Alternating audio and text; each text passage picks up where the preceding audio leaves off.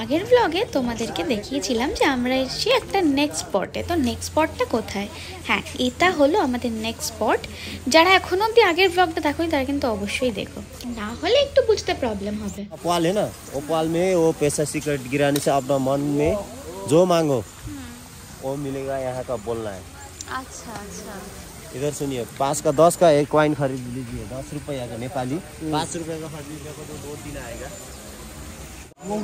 বলছে এইখানে কয়েন এখানে। তো এখান থেকে কয়েন কিনে করে এখানে ফেলে দিতে হয় তাহলে হয়। এখানে টিকিট কত করে টিকিট কত করে রুপিস করে। নেপালি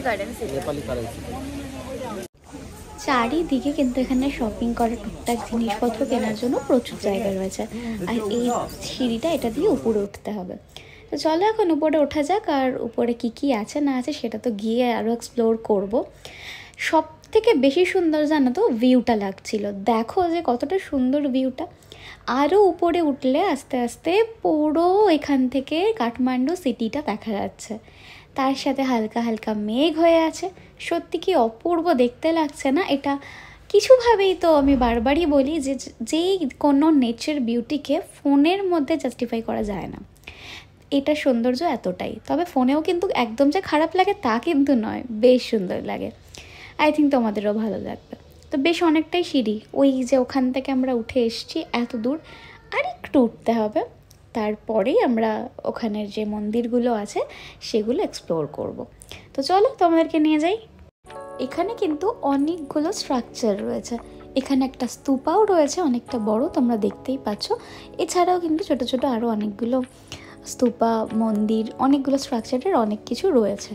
তো এত ডিটেলস তো সত্যি আমি জানি না, তবে জায়গাটা দেখতে সত্যি খুব সুন্দর লাগছে।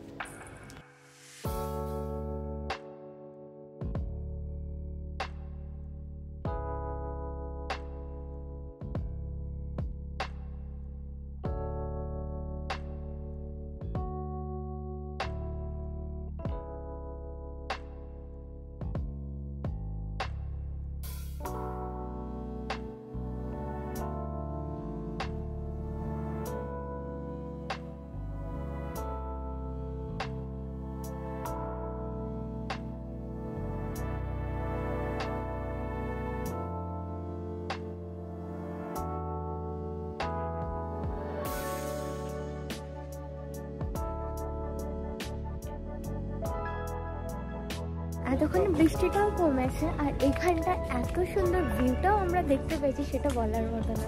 গোপুর তো প্রচুর ছবি তুলে দিয়েছি আমি ভিউ নিয়ে, আর চারিদিকটা বেশ সুন্দর হয়ে আছে তো মনেশ্রী বা কোনো এরকম মন্দির যেখানেই যাই, খুব শান্তি দেখবে, একটা লাগে ফিল হয়। তো ঠিক এক্স্যাক্ট সেরকমই হচ্ছে। কিছু একটা দেখতে চাইছি।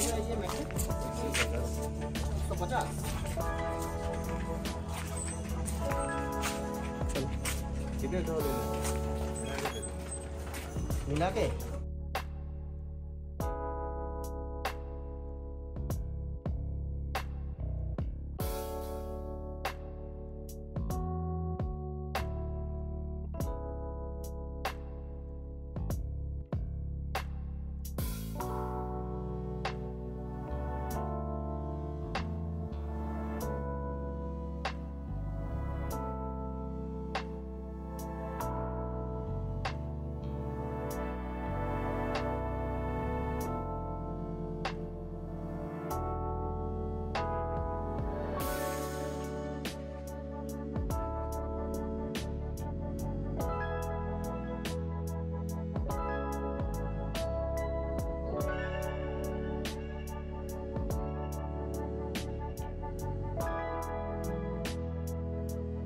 সুন্দর জিনিস দেখতে এত ভালো লাগছে তাই জন্য আমি ভিডিও করে রাখছি। আমরা এবার এখান থেকে বেরিয়ে যাচ্ছি। বেরিয়ে সন্ধে তো হতেই চলল দেখা যাক আর কোনো স্পট কভার করা যায় কি যায় না। তো আপাতত আমি নেপালে আসব আর মোমো খাব না তা তো হয় না। তো এখান থেকেই মোমো নিয়ে নিলাম আর খেতে খেতে এখন আমরা যাচ্ছি আমাদের হোটেলের দিকে। হোটেলে যাওয়ার আগে ভাবলাম পশুপতিনাথ টেম্পলটা আমরা একটু দর্শন করে আসি। খুব বৃষ্টি পড়ছে কিন্তু তাও যাব। আমরা এখন বৃষ্টির মধ্যে যাচ্ছি। পশুপতিনাথ মন্দির দর্শন করতে। নেপালে? হ্যাঁ, সেটা সবাই জানে ঘটি ঠিক আছে।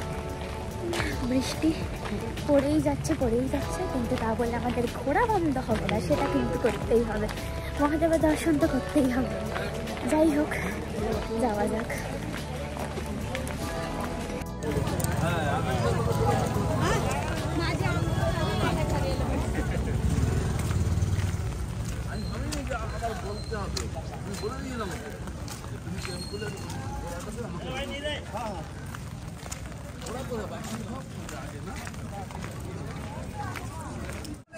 এটা হচ্ছে ঢোকার সামনেটা। অতটা রাস্তা হেঁটে আসতে হয় আর হেঁটে এসে ওখানে তোমার চারিদিকে দোকান আছে যেখান থেকে তুমি পুজোর জিনিসপত্র কিনতে পারবে। আমরা যদিও আবার সকালে আসব পুজো দিতে, কিন্তু এখন রাতের ভিউটা, রাতে কেমন লাগে, যত তাড়াতাড়ি হোক মহাদেবের দর্শন করে আমার একটা এক্সাইটেড ব্যাপার থাকে না, তাই জন্য আমরা রাতেই যাচ্ছি। একটুখানি দর্শন না করে এত কাছে এসে সেটা শান্তি হচ্ছিল না বলে।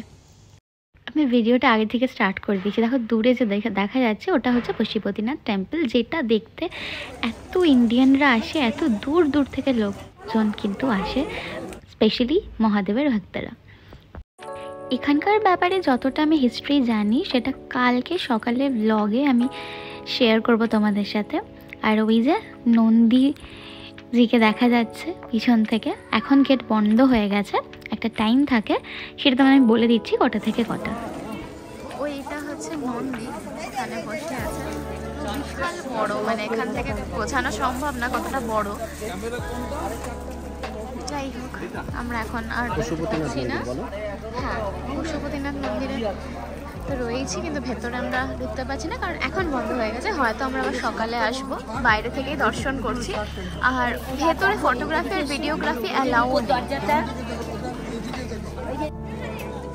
একটা গেট আছে এই গেটটা